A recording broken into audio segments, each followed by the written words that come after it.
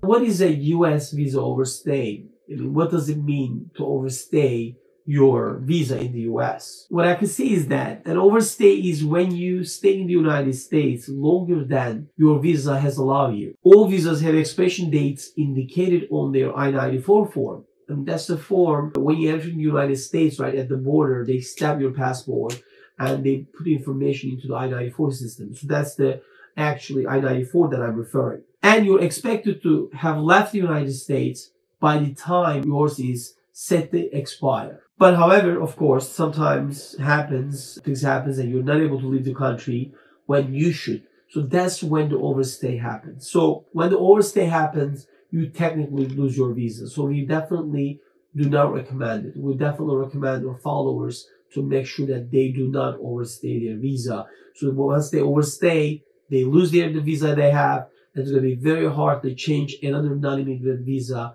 valid status right after that.